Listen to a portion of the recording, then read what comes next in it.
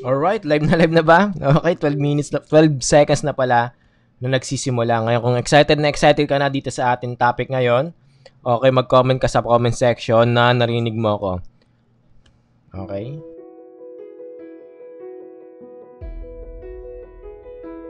Alright guys, yun. Ngayon, meron na lang tayong 4 minutes and 35 seconds para explain sa'yo kung ano ba yung attraction marketing. Itong attraction marketing, isa to sa mga high income skills na kailangan mo ma-master. Itong attraction marketing, kung ano man yung business na ginagawa mo, mapa-offline man yan online, at lalong-lalo na kung gagamitin mo to sa power, gagamitin mo to online gamit yung power ng internet, matatake advantage mo. Pag sinabing attraction marketing, literal, parang ganyan, na mamagnet mo yung mga dream customer mo papunta sa'yo. Sino ba naman ang may ayaw na ganun na kusang lalapit sa iyo yung mga target market mo. Sinong may ayaw na bigla na lang may mga mag-i-inquire sa business mo, may mga magtatanong kung anong product na, product na ginagawa mo, okay na okay yung ganun. Okay? At yan yung tinatawag na attraction marketing. Isa sa mga susi para maging successful ka on.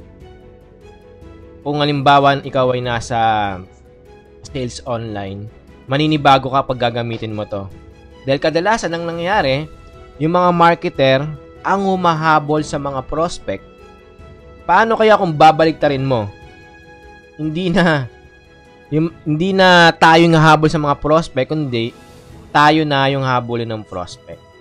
At ang tawag sa high income skills na yan ay attraction marketing. Para gumana tong attraction marketing, kailangan ikaw ay maging mahalaga kailangan nag-provide ka ng value sa mga target market mo. Dapat alam mo kung ano yung problem nila. Dahil kapag alam mo yung problem nila, yun yung bibigay mong solusyon sa kanila para ang mangyari, mamamagnet mo papunta sa'yo. And after na mabigyan mo siya ng valuable information, ang mangyayari nun, doon na niya makikita yung product, services, business opportunity mo. Pero ang nangyari, na magnet mo papunta sa'yo. At yan yung concept ng attraction marketing. Kaya kung gusto mong ma-discover kung paano yan, comment mo lang dito sa comment section, dito sa live natin, kung sa YouTube mo ito napapanood, Facebook live.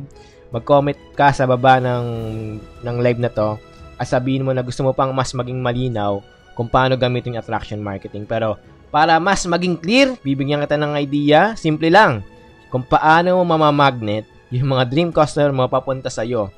At ang tawag dyan ay attraction marketing.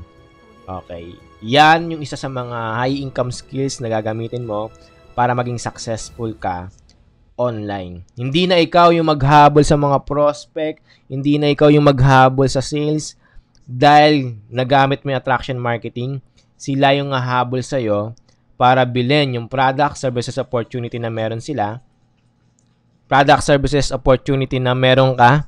Okay? Para mabigyan sila ng solusyon at yun yung kailangan magawa para magawa mo tong attraction marketing. Okay, kaya kung excited ka na dyan, comment mo sa comment section na super excited ka na matuklasan itong attraction marketing na makakatulong sa'yo. Isa yan sa mga income skills. Maraming high income skills, kaya dito sa 5 minutes vlog natin ay matatopic natin yung iba't ibang klaseng high income skills na makakatulong sa'yo. At isa lang to sa pinaka-importante din na sangkap para magkaroon ka ng unlimited leads and sales online. Kung isa kang real estate, business owner, network marketer, affiliate marketing, affiliate marketer ka, may digital course ka, para sa iyo itong mga gintong klaseng concept na tutulong sa business na ginagawa mo. Once again, my name is Angel Sonsa. Comment mo lang sa comment section kung ano pa yung mga high income skills na gusto mo ma-discover at meron nagkakandak rin ako everyday ng, ng free online class, 8pm via Zoom. Kung gusto mo rin makapasok doon, mag-comment ka lang ng yes para ma-qualify ka na makapasok sa private free online class. Once again, my name is Angel Sonsa. Magkita-kita tayo sa next session. Bye-bye guys. Bye-bye.